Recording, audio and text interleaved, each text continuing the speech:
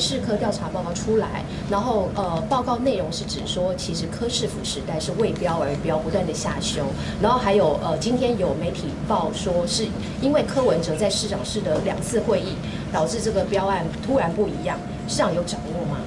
北市科这个案子其实已经进入司法调查，我们就全力配合检调，那也希望尽快的理清事实，让一切还原真相，水落石出。那如果有发现不法，绝对依法追究；但如果哦没有问题，也要还当事人清白。因为这是陈佩琪的人头公司案，就是北市联谊考机会今天会开会来讨论。那因为最后市长还是这边还是会来签合，想问一下市长对这件事的态度。我了解今天联谊就会召开考机会，邀当事人来说明，那一切就会依照法规。程序来进行。这样想请问，怎么看黄珊珊现在被党内停权？也就是说，他确定是不能够以民众党籍来参选二零二六。他对您争取连任来说，你觉得现在回归蓝绿对决是挑战，还是反而更好选？这还有很长一段时间哦。那现在就是专注在市政上面，啊，持续为市民提供更好的服务。所以市长接下来会争取小草的支持，呃，会未来台北蓝白合。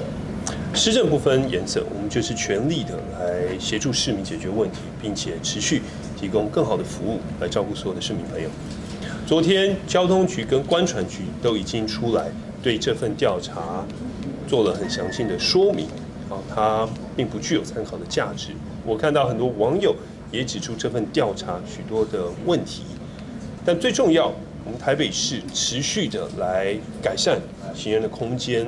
啊，不管是相关集推二点零啊路型的改善，交通部有一份统计，在今年的一到四月，全台各县市行亡行人死亡人数下降最多，就是台北市。我们是各县市改善最好的。当然，我们不以此自满，我们持续的来进行交通友善的改善工程。所以今年是台北市的交通安全年，我们不只是选定。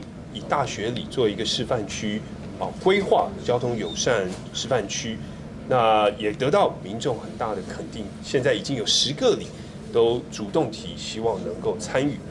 那另外，我们在天母棒球场外，啊，也有一个非常呃大的一个路型改善。